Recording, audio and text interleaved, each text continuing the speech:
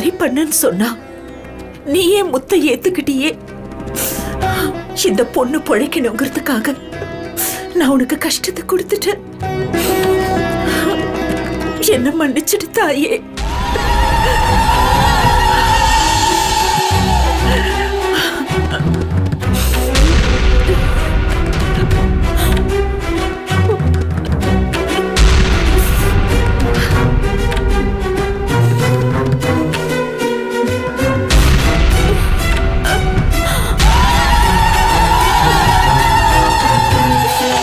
காணும்னு தேடுவாங்க.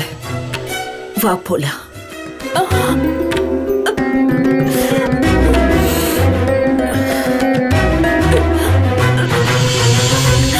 வா போலாம். எனக்கு ஒரு சந்தேகம். என்ன? நீங்க அங்க பிரதட்சணம் பண்ணும்போது பாம்பு உருள்ற மாதிரி தெரிஞ்சது. அது பிரம்ம தானே இல்ல. அது பிரம இல்ல உண்மைதான்.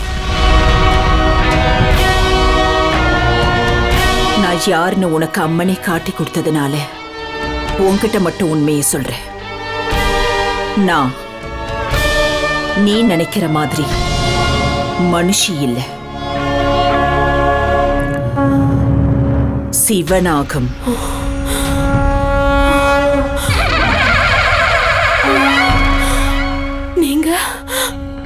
நாகமா ஆமா.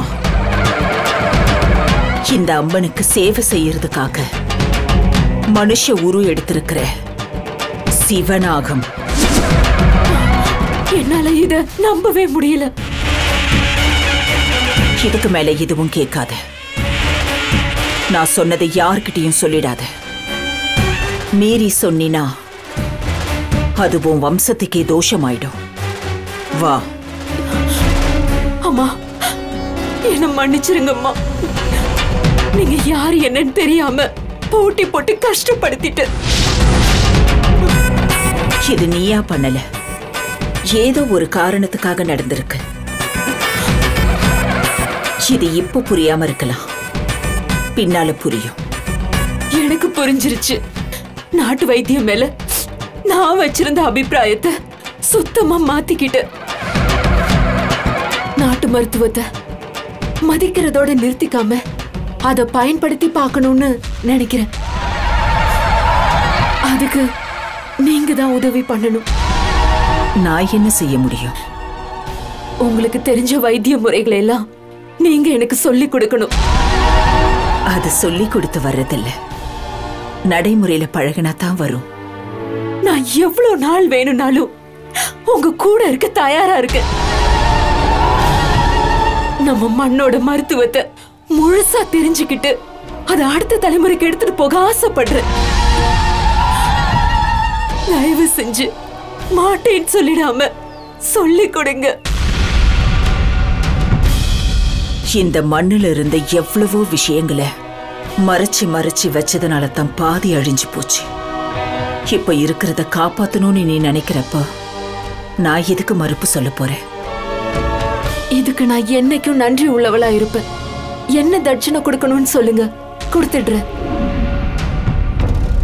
பொறுமைதான் அதுக்கு தட்சணை. பொறுமையா இருப்ப இல்ல கண்டிப்பா.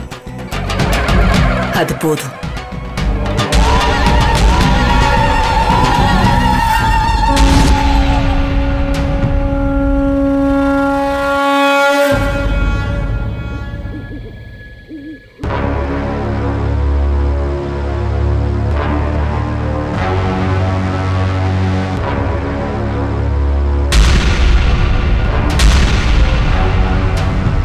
அப்படி எந்த மன கஷ்டம் ராஜசேகர் ரீசெண்டா நான் ஆரம்பிச்ச எல்லா பிசினஸுமே ஏதாவது ஒரு வகையில லாஸ் ஆயிட்டே இருக்கு. போற போக்க பார்த்தா என் நிலைமை ரொம்ப மோசமாயிடும் போல் இருக்கு அது மட்டும் இல்ல அடுத்தடுத்து என் ஃபேமிலியிலையும் சின்ன சின்ன பிரச்சனை வந்துகிட்டு இருக்கு. நல்லது கெட்டது எல்லாத்துலேயும் துணையாக இருந்த என் ஒய்ஃபும் சமீபத்தில் இறந்து போயிட்டாங்க. என்ன பண்ணுறதுன்னே புரியல சாமி. அம்மே பகவதி.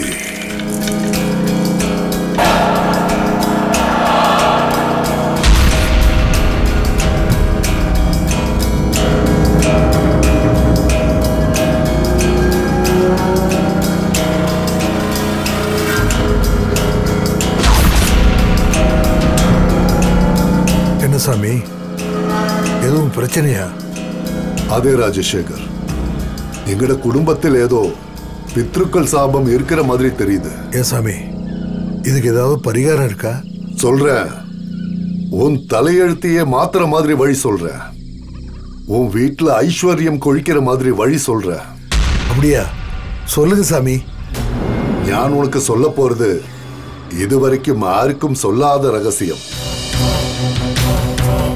இத நீ தெரிஞ்சுக்கணும்னா தட்சண அதிகமாயிட்டு கொடுக்கணும். என் பிரச்சனை சரியாகும்னா எவ்வளவு லட்சம் வேணாலும் தர்றேன் லட்சம் பத்தாது ராஜசேகர் வேற என்ன வேணும் சொல்லுங்க നിന്റെ ബിസിനസ്സില് പാർട്ട്ണർഷിപ്പ് വേണം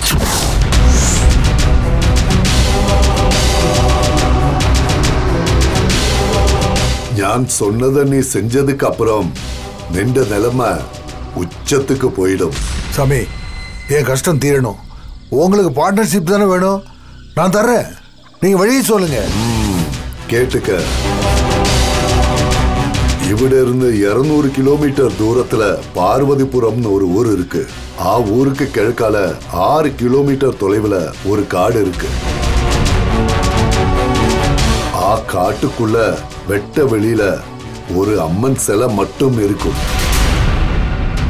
ஆ சிலைக்கு നീയും நின்ற ബിസിനസ് பார்ட்னர்ஸும் போய் ஒரே ஒரு விளக்கு போட்டுட்டு വന്നിങ്ങനാ அதுக்கப்புறம் லக்ஷ்மி கடாட்சம் நின்ன தேடி வரும். என்ன சாமி? ஏதோ பெருசா சொல்ல போறீங்கன்னு பார்த்தா கோயிலுக்கு போய் விளக்கு போட சொல்றீங்க? நீயா மண்ண மிதி விளக்கு போடு. அதுக்கப்புறம் என்ன நடக்குதுன்னு பாரு. சரி சாமி அப்படியே பண்றேன். ஆனா ஒன்னு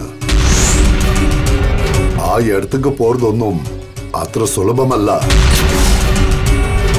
தடைங்க வரும் பின்வாங்கிடக்கூடாது தடங்கள் வரும் திரும்பிடக்கூடாது எது வந்தாலும் சமாளிச்சுட்டு போய் விளக்கு போடணும்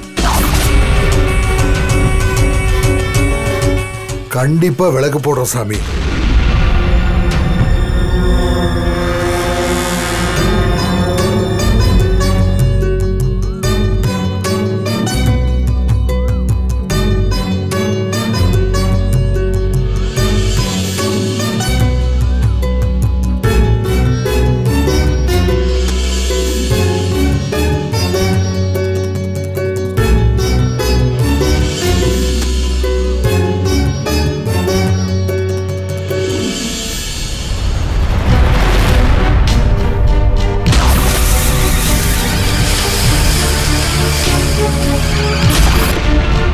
எவ்வளவு தூரம் போகணும் அது எனக்கு தெரியாது பார்ட்னர்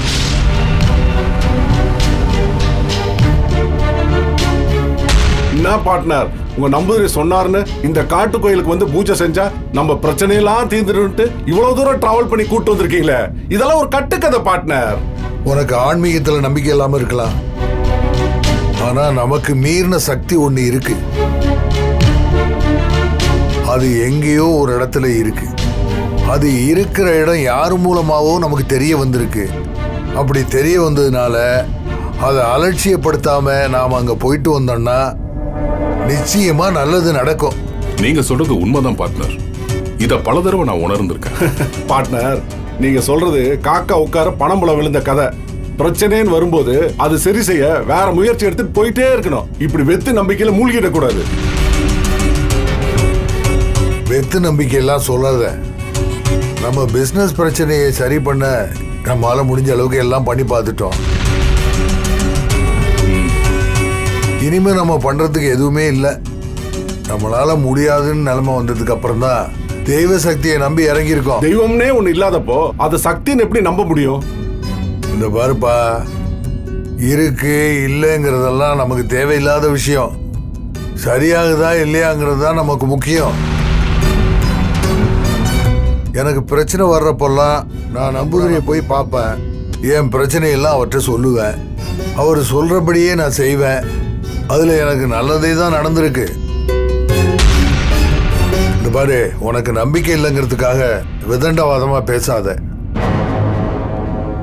நம்பிக்கையோடு இருங்க. எல்லாம் நல்லதாகவே நடக்கும்.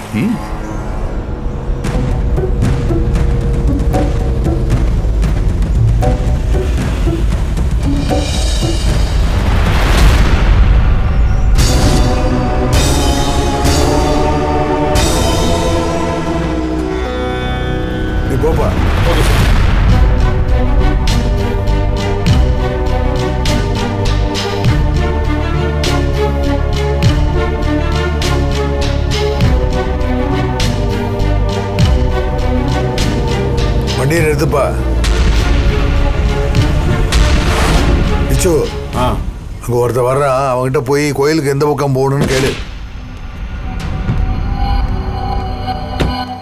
இருப்பா. ஆமா இங்க காட்டம்மன் கோயிலுக்கு எப்படி போறது? நான் சொல்றது புரியலையா? டேய் கேக்குறல்ல எப்படி போறதுன்னு சொல்லு. யார் அது?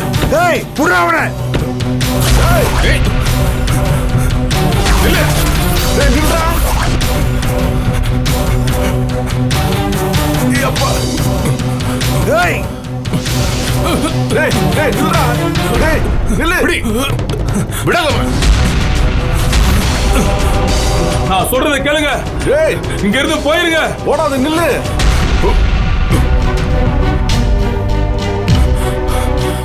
ஏய்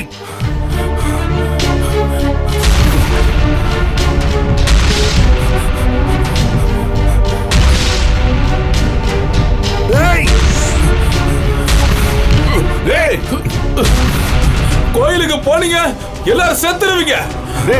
நில்லு. டேய்!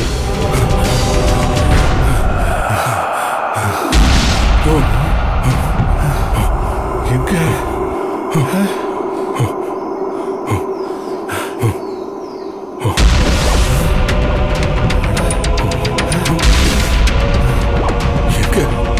எந்த பார்ட்னர் மாயமா மறைச்சிட்டான்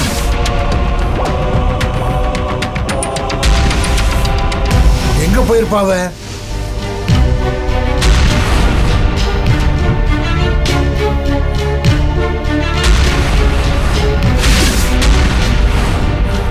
எதுக்கு அவனை அடிச்சுட்டு கோயிலை பத்தி இவன்கிட்ட கேட்ட உடனே அடிச்சுட்டு வர்றான். டே விச்சு அவன் ஓடிக்கிட்டே என்ன சொன்னான்னு கேட்டி இல்ல கோயிலுக்கு போனா எல்லாரும் செத்துருவோமா? வேண்டாம் பார்ட்னர்ஸ் நான் சொல்றதை கேளுங்க. அங்க போக வேண்டாம். ஏதாவது ஆபத்து வந்துட போகுது நீங்களா ஏன்டா கற்பனை பண்ணிட்டு இருக்கீங்க? ஒன்னும் ஆகாது வாங்க கார்ல இருங்க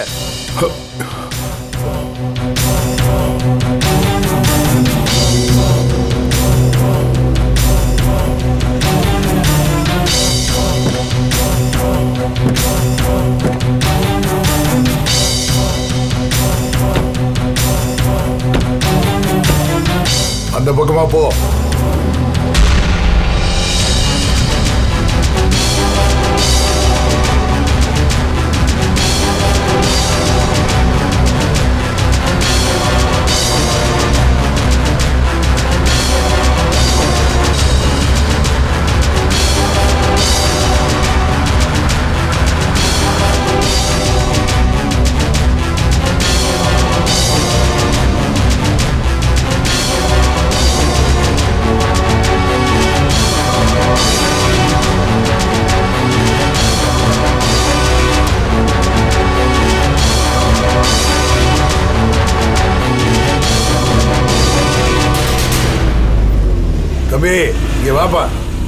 வா. ஏப்பா இங்க இந்த காட்டம்மன் கோயிலுக்கு எந்த பக்கமா போகணும்? சொல்லுப்பா. என்னப்பா உன்னதான் கேக்குறேன். எந்த பக்கமா போகணும்? என்ன பார்ட்னர்? இவனும் அவன மாதிரியே மேலையும் கீழையும் பார்க்கறான். எதுக்கு கழுத்தை உள்ள இழுத்துருங்க? போட்டு போறான். போட. எந்த பக்கமா போகணும்? சொல்லு. உங்களுக்கு உயிரோட ஊருக்கு போக ஆசை இல்லையா? வந்த வழியே திரும்பி போயிடுங்க.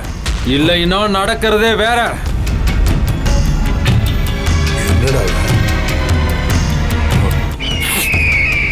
ஏன் பார்ட்னர்? கோவிலுக்கு வழி கேட்டா எல்லா பயிலுமே அபசகுனமா பதில் சொல்றானுங்க? ஒரு சகனமும் இல்ல. நீ வண்டி எடுப்பா.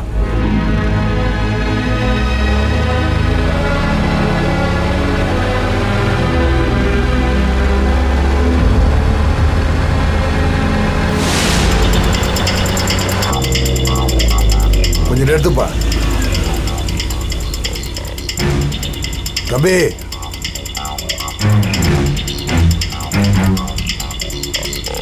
யார் அது அசலூருக்காரங்க மாதிரி தெரியுது.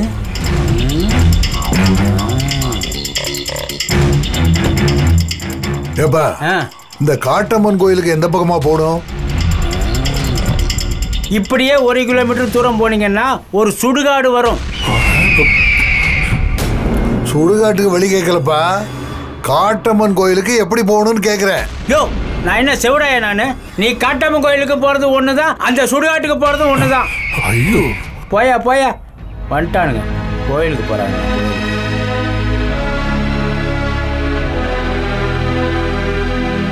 பார்ட்னர் வண்டியில ஏறுங்க.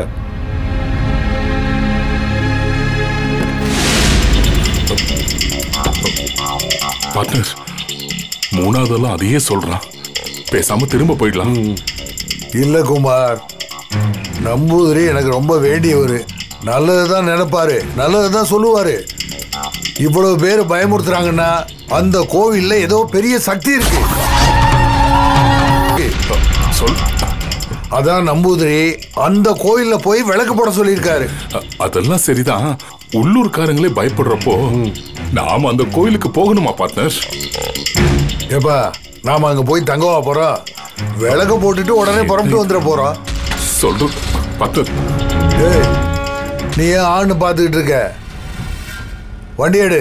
ஆ, ஆ, ஆ.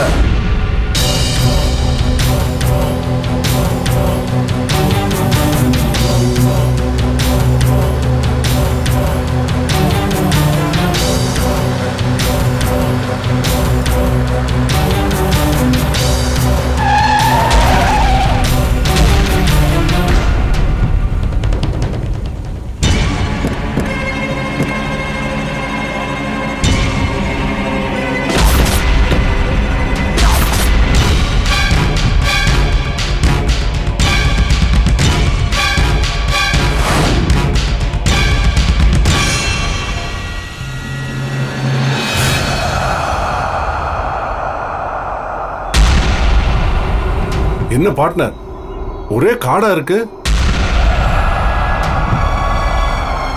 நம்பூதிரி சொன்ன இடம் இதுதான் போல இருக்கு. இங்க அம்மன் சிலை எங்க இருக்குன்னு போய் பார்க்கலாம் வாங்க. பார்ட்னர் காட்டை பார்த்தாலே ரொம்ப பயமா இருக்கு. நாங்க இங்கேயே இருக்கோம். நீங்க போய் பார்த்துட்டு வந்துருங்களேன். சரி நீங்க எங்கே இருங்க. நான் போய் பார்த்துட்டு வந்து அப்புறம் வந்து உங்களை கூட்டிட்டு போறேன். ஆ? ஜாக்கிரதா பார்ட்னர் தைரியமா